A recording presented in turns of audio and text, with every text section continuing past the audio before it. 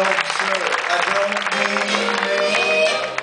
Yes, sir, that's my baby now.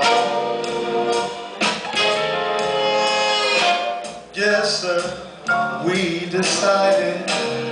No, sir, we won't hide it. Yes, sir, you're invited now.